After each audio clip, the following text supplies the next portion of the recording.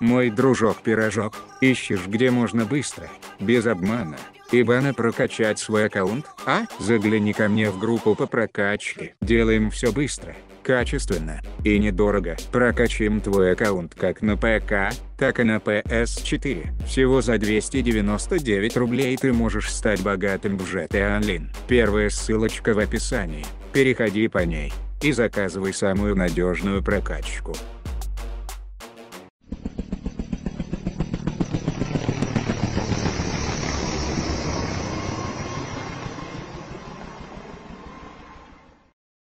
Ну шо, пацаны, докатились. Докатились до гаража на Элегии. Бесплатном автомобиле в GTA Online. Ну как бесплатном, за тюнинг придется раскошелиться.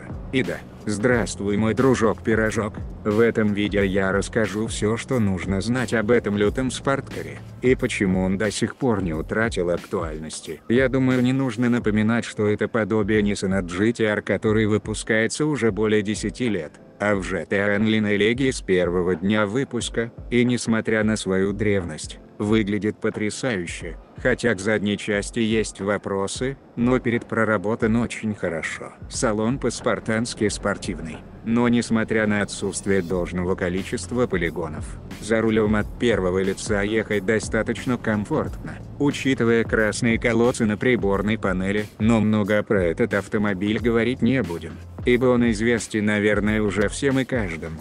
Поэтому перейдем к тюнингу.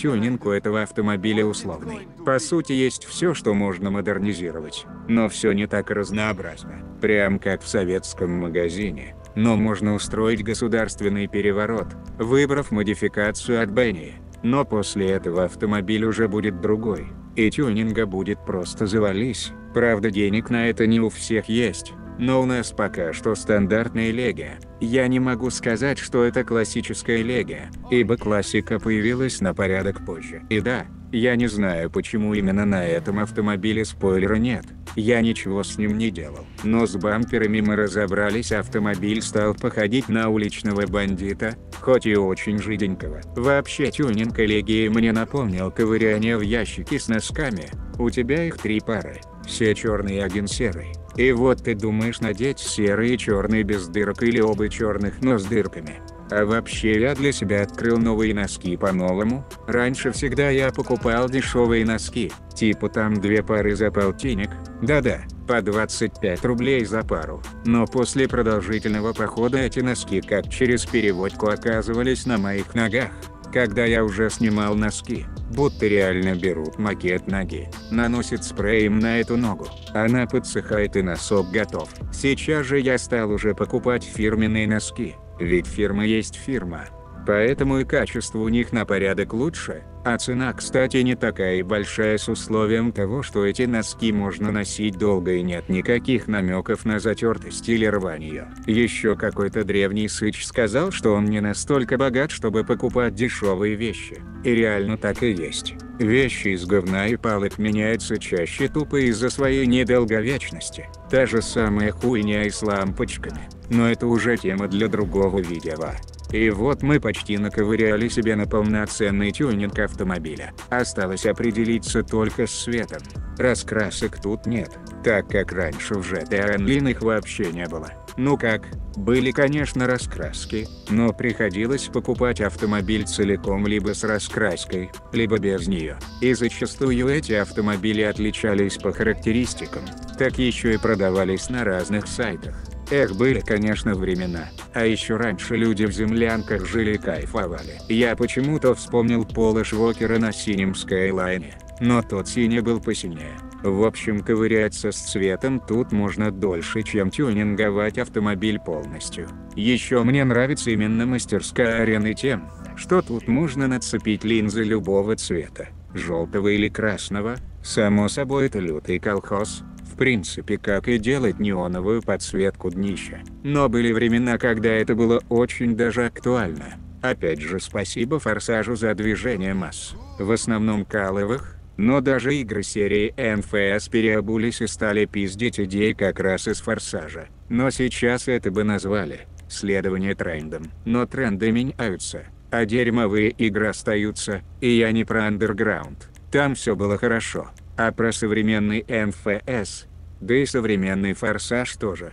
Надеюсь, из-за пандемии ни то, и ни другое в ближайшем будущем мы не увидим. Осталось добавить немного гейства и автомобиль готов.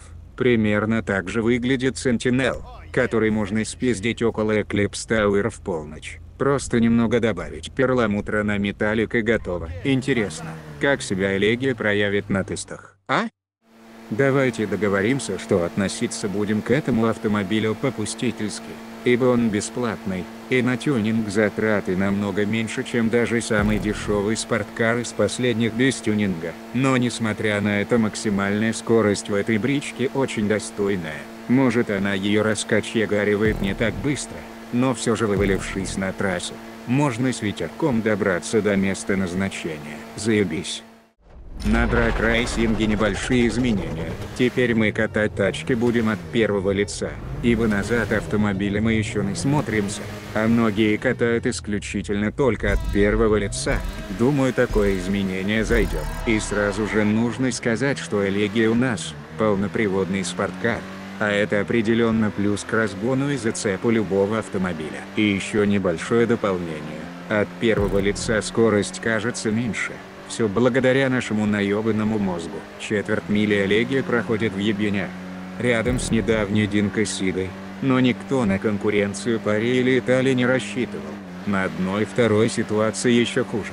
Но это просто-напросто на шафтере В-12 воткнулась третья передача и немец попер, перепрыгнув с 19 места на 16 -е. Ну а на целой миле благодаря максималочке, Элегия поднялась на 16 место.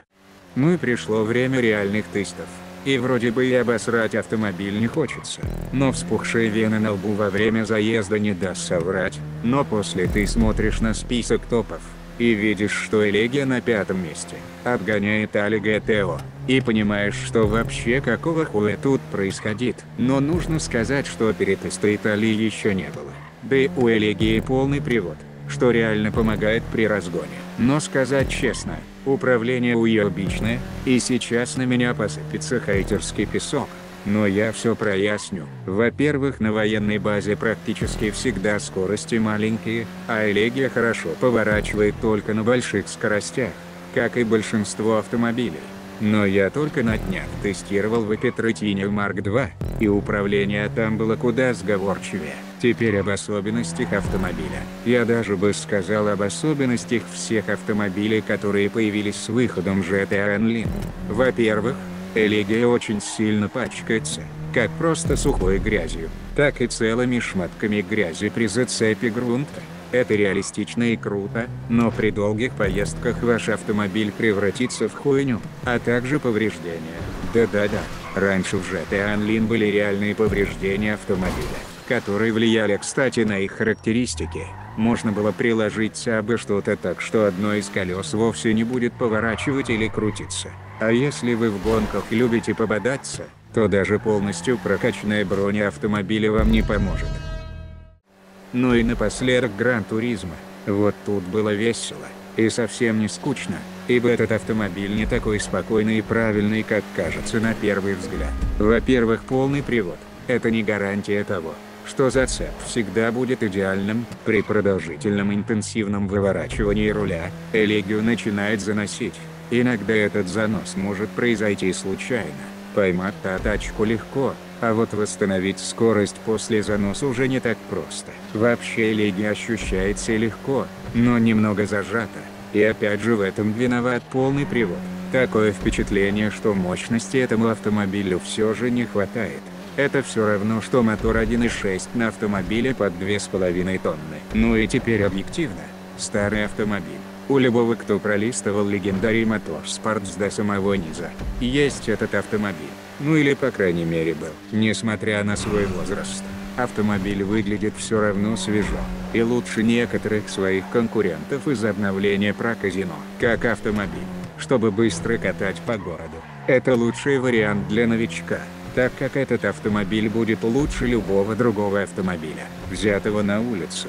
Ибо тут уже есть полная страховка, купить его можно за 0 баксов, за столько же баксов можно и продать. Но все меняется, когда автомобиль появляется в России. Предположим, что за такой автомобиль мы заплатили 1 доллар. Рассеянским торможенникам мы заплатим 500 рублей за таможенное оформление. Сама пошлина 1 772 642 рубля и 65 копеек. Утилизационный сбор – 5200 рублей. И это ебать их в сраку простите за автомобиль стоимостью 1 доллар. Да у него 480 лошадиных сил. Да у него 3,8 литров. Да, ему более 10 лет. Но это мать вашу бесплатный автомобиль. Поэтому из-за США невыгодно возить маслкары.